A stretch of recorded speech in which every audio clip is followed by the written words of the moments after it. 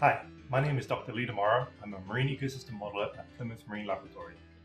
I work on the United Kingdom Earth System Model, which is a simulation of the Earth's climate in the past, the present, and the future. The UK Earth System Model is used to help us understand climate change and make predictions about the future.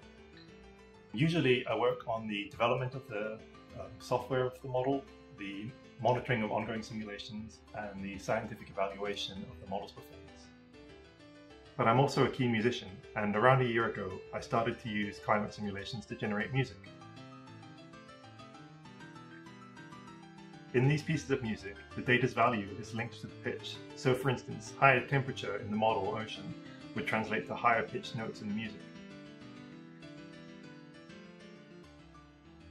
We don't just include temperature though. There's also pieces covering ocean acidification, the Arctic system, ocean currents, and climate change.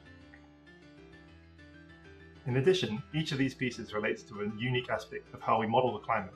Listeners who follow closely will learn about model spin-up, the pre-industrial control simulation, historical branching, and the various future climate scenarios.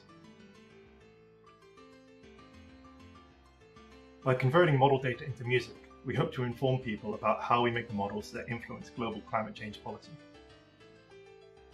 The music and videos are all available on my YouTube channel, and the sheet music and MIDI files are linked in the video descriptions.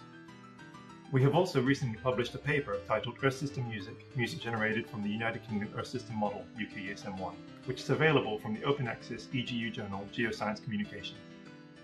This publication describes each piece, the methodology used to create the music, and the limitations of this approach in more detail.